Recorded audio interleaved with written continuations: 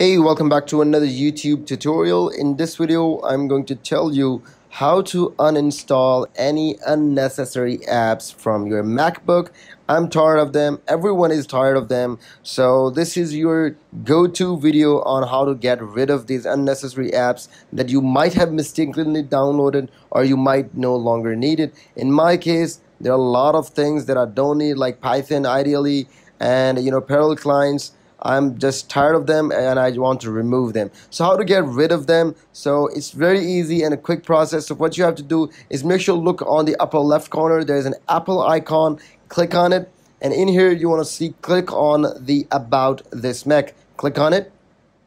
When you click on about this Mac, you'll see multiple options, but we have to go into storage. Click on storage and in here you will see that you have a I have a really less storage. So you have to calculate your how much storage is consumed and click on manage when you click on manage there is a lot of uh, you know files that will show you how which file occupy how many places like application there's a books there's documents there's iTunes. So in here we are concerned only with applications because you want to get rid of apps. But if you want to get rid, rid of documents you can also get rid of documents using this. But I'm getting rid of you know applications so I'm just gonna go click on this one application.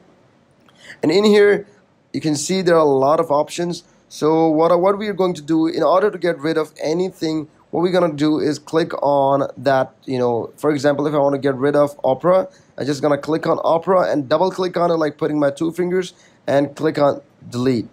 Once you delete it click on delete. It will take some time usually but it, it's removed and remove it from here. Okay you can't find it. For example if you go into you know opening all the apps just a second okay in here you can see it's removed. Once it was available in here now it's removed. Even if you open it from here it is putting a question mark which means it's no longer available on your macbook. So there are a lot of websites any of them if you find you know are irritated with this is the easiest go-to way to get rid of your application. And even if you want to get rid of your documents you can so do so by you know just clicking on it and boom you will be getting out of that shit very much easily. And if you find this video really helpful make sure to leave a comment below. We'll catch you in the video. Keep visiting Tiggs schooling